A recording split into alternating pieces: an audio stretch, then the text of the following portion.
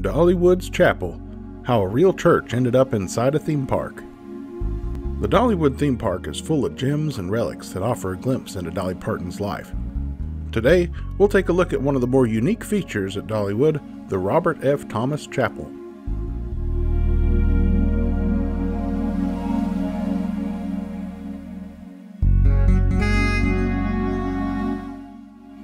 How old is the chapel at Dollywood?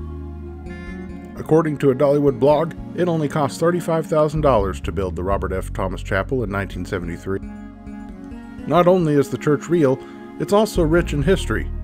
While the Robert F. Thomas Chapel inside Dollywood isn't really that old, it does predate Dollywood. It was dedicated in May of 1973 as part of Gold Rush Junction. The windows were donated from Sevier County's first second school, Nancy Academy which was open from 1806 to 1890.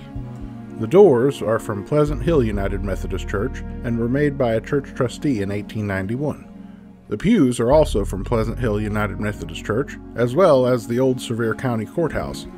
They date back to the late 1800s.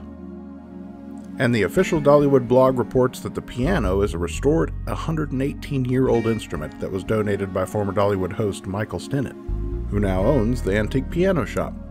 Was the Dollywood Chapel named in honor of Dolly? We always assumed the chapel was rechristened after the park became Dollywood, but that's not the case.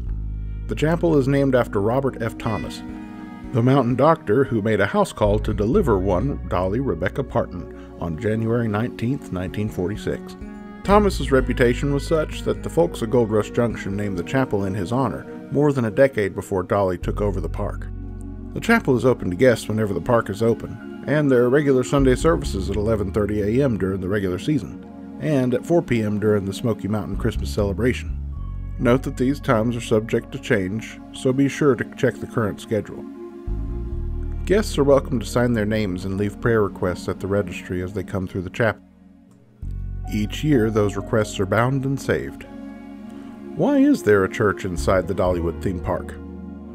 Sure, the idea of a church inside a theme park can seem quite strange. But here, for this little church built with so much love and history from all the local churches, there's nothing that feels out of place. Unlike the workshops throughout the valley, which cannot escape the feeling of faux history, the chapel is authentic and real.